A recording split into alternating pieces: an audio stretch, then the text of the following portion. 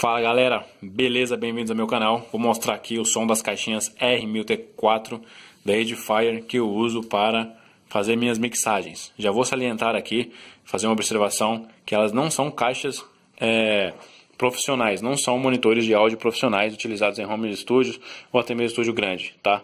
Anda longe de eles usarem essas caixas aqui para fazer mixagem é, profissional tá? Mas ela quebra um galho aí para quem está começando. Não é profissional, tá, galera? São caixas multimídias, caixas utilizadas aí em, ó, vou, até mostrar aqui para vocês, ó, CD, DVD, MP3 e também pode ser usada aí no notebook. Aí deu uma focada agora, tá? Vem com um ativo, uma passiva. É é uma caixinha bem legal, dá para você mixar tranquilo, mas porém, as, ó, vou mostrar as especificações delas, dela aqui. O que acontece é que a faixa de frequência dela, que ela abrange, é, não é muito baixa. Ela, ela não pega frequências é, tão baixas assim, 30, 30 Hz, tá? Deixa eu colocar aqui, tem outra língua ali. Ó, ela, ela pega, é, a resposta de frequência dela é de 75 Hz a 18 kHz, ou seja, é uma, é uma frequência que já começa já numa frequência muito alta. Para você ter um monitor de áudio bem legal, é, é de 40 Hz, 35 Hz, Hz, tem uns que é 50 Hz. Só dá uma pesquisada aí no, no manual dos, dos, dos, monitores, vocês podem ver que o monitor de áudio profissional ele pega é, frequências mais baixas, tá? Frequências mais baixas do que 75 Hz. Aqui ele já tá, eu acho que já está uma frequência muito alta, coisas abaixo disso você já vai sentir um pouco de deficiência. Beleza, mas a gente consegue fazer uma boa mixagem sim com ele, tá? Se você tiver aí um fone de ouvido também. Aí eu tenho um AKG também que eu vou monitorando aqui, tá? Meu AKG K52 e vou monitorando com ele também, para não perder a mix. Beleza? Então vamos dar uma escutada aqui no som, ver como que é.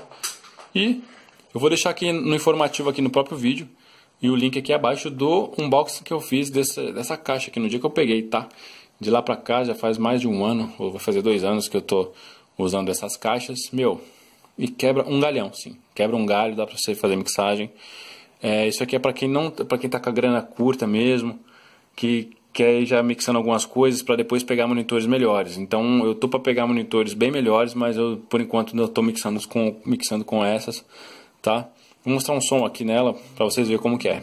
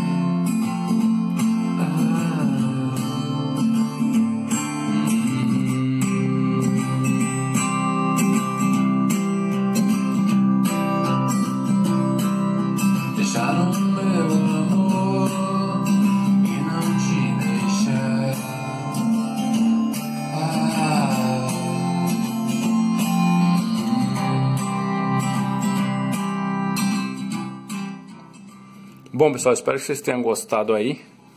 Recomendo aí para quem está começando, tá? Tá sem, sem grana aí, recomendo sim. Pode comprar tranquilo, você vai conseguir fazer boas mixagens aí, tá? Só se focar no som que você quer, se direcionar certinho. E é isso aí. Se gostou, se inscreve no canal, deixa um comentário aí.